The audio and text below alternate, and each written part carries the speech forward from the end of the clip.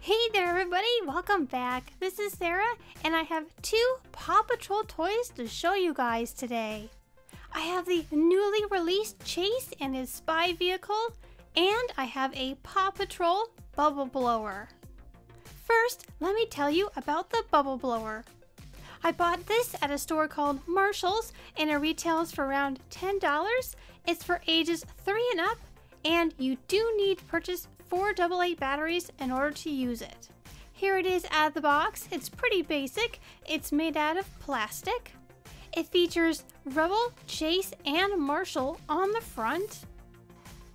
On the top is where you find the on and off button, and then underneath is the battery case. It's pretty loud when you turn it on, but I hope that means that it will produce a lot of bubbles. It does come with these Fubbles, which I've never heard before.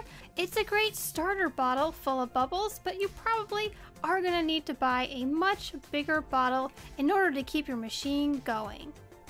I have no idea how much this machine holds, so I guess I'll just keep pouring until I see it at the very top.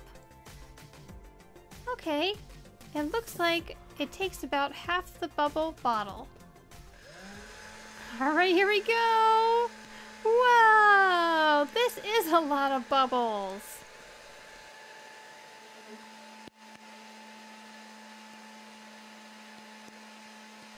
The popping sounds that you hear are the bubbles hitting my camera's microphone. Bubbles are seriously going everywhere in my office. This is super cool. I think I'll keep the bubble machine going while I tell you guys about Chase. This brand new toy from Paw Patrol features Chase and his spy vehicle.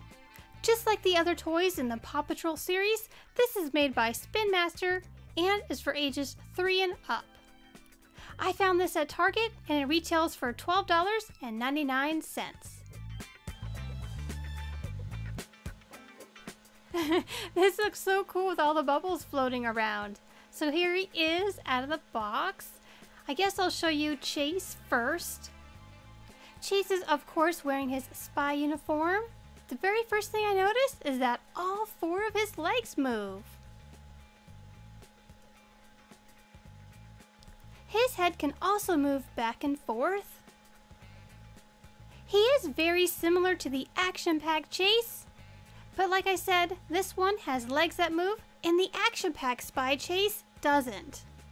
This Chase has on his spy helmet and some pretty cool heavy duty black boots. Here are all the variations of the Chase characters who have come out so far. I think I have all of them. Let me show you his spy vehicle next. This is the exact same size as his police vehicle in the other $12.99 package. This one has some additions like the neon green paint that's added to the sides and the tires.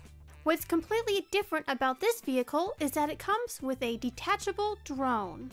It's cool that you could leave the drone on the vehicle, but I kind of wish that you could push a button and it would fly.